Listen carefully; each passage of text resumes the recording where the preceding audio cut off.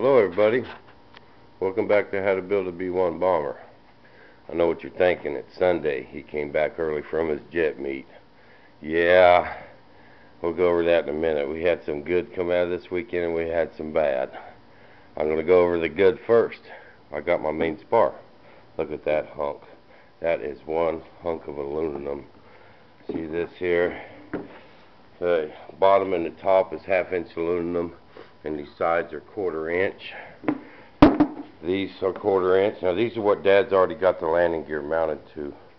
So uh, I don't know if we'll mount to these new ones or what, or take the one that he's already got the gear mounted to and put it on there. I think that's what we'll probably do. But uh, I got my main spar. I'm going to lay up a fuselage, but first I'm going to make a gas tank for the center section. I'm going to make it this week. We can, Butch figured out that this part holds 1.9 gallons, almost 2 gallons in that area, and we'll stop it a little short. But that'll make a real good place for tanks. Then we're going to make our two more tanks right here in these little cheeks so they won't interfere with the bomb bays and they'll they will hold two gallons each so we'll be carrying almost six gallons of fuel that's good for a 10 minute flight on them four P200s and I'll tell you what happened in Texas we got there Friday uh, you know we left Thursday spent the night in Dallas with Butch and uh, we drove on to Waco in the morning. We probably got there, I don't know, 10 o'clock. And it was kind of cloudy. It wasn't bad. It was just cool, cloudy, no wind. There were some jets flying. And uh, so we unloaded the trailer and uh, set up our tent.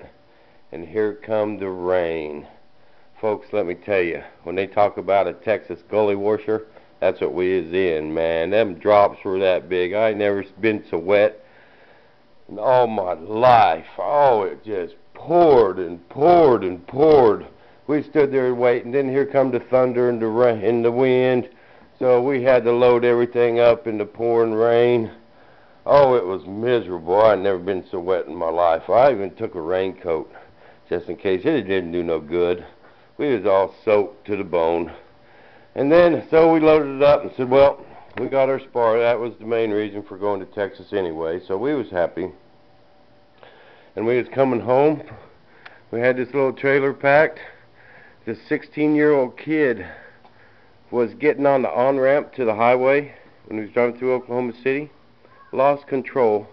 Spun all the way around. Was heading for my new truck I just bought. And just barely missed the truck but hit the trailer. Jacked it up. This trailer went like eight foot in the air and bounced, threw us sideways. I barely, I don't know how I didn't crash. That truck was sideways with this trailer. I felt it pushing. This, the roads were wet because of the rain, you know. But I got control of it and stopped. And it did some damage to my jets. Uh, I ain't looked real close yet. I got to get a hold of the insurance agent and find out how I need to go about doing this. But the wings to my Hornet got jacked. The wings to the F-16 got jacked. Elevators broke on the Hornet. And uh, when we first looked in there, that F-16 was all the way on its side. So I'm sure it's jacked too. Everything in the trailer just was a mess. We had we had this real neatly organized when we back got back to Butch's. Says, oh yeah, look way back there. Oh yeah, we got a B-58 Hustler that I kidnapped from Texas. And look at this. We got a set of landing gear with it. Watch these wheels as they come down. Bam. Is that cool or what? Paul, you know our buddy Paul, the guy who uh, made that main spar? He made these for us. Let me take these in. I'll show you a little better.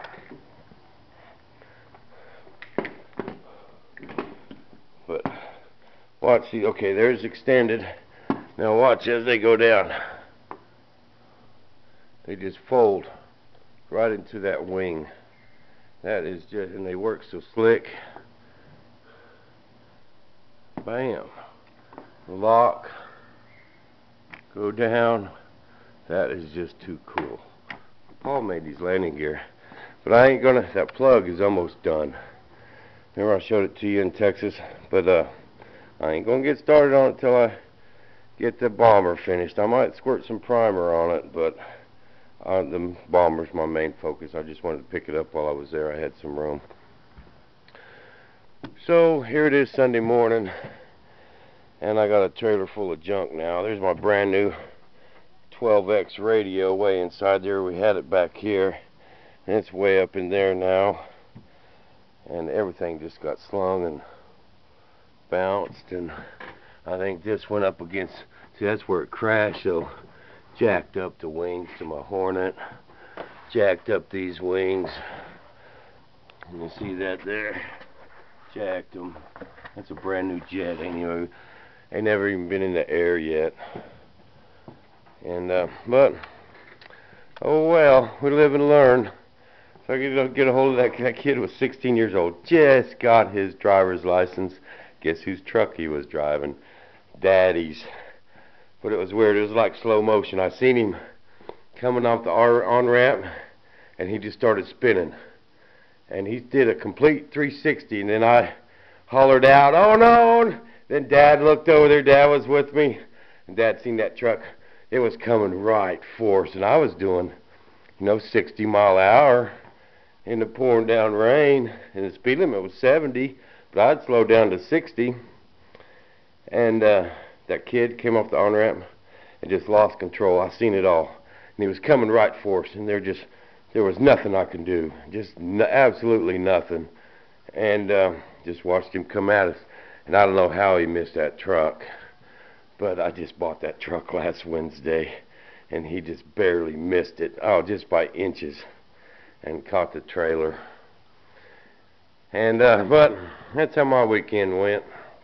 But it ain't gonna slow me down on the bomber. I got my main spar.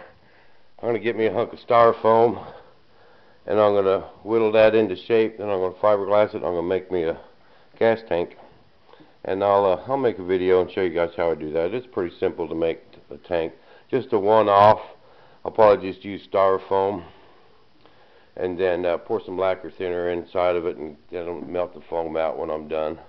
Then I can cut it apart clean it all out inside, and tape it back together. I've made tanks like that before, and they work pretty good.